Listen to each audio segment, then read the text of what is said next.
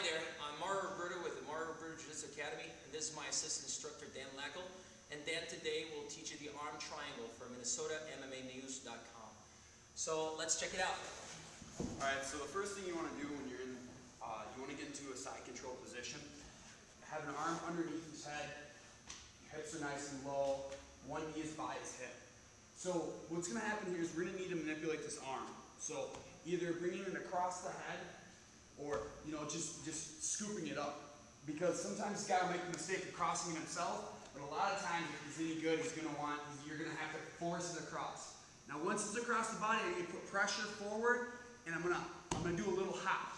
So I step over all the way across. Once we're here we lock up our arms elbow to elbow. From here we're to we're to pull everything tight towards us, and then we're to go across at a 45 degree angle, following his arm. So basically, you want to put your pressure back at his arm. So first, we need to tighten everything up because this is going to be loose. So tighten everything up, bring it nice and close to us, and then we squeeze and bring it to the side. So very important. What we're doing is, is first we're tightening this all up, and then we're taking the pressure to the side. So one more time. We're here, and you know this guy either makes a mistake or we, we force him here. We get this pressure on his head, and we're putting pressure on him. We got to put pressure on his chin. From here, we can post. Top leg comes over first. Opposite side. Now from here, elbow to elbow, pull this guy in, and then bring the pressure across. If you do it right, you'll feel a little choke on your on your own uh, your own neck. So what are the main common mistakes that, that you see people doing there with the arm triangle?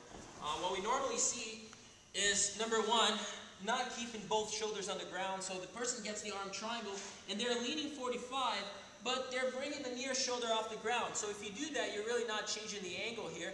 You're going to be squeezing all the way until you get a cauliflower ear. I know because I did it before.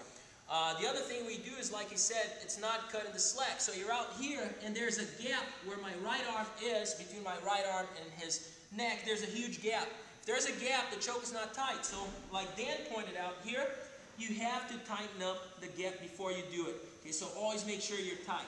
The other mistake is to keep your head too close to the elbow. So the head is high on the elbow. It means that the guy is able to slide that arm out. Go ahead.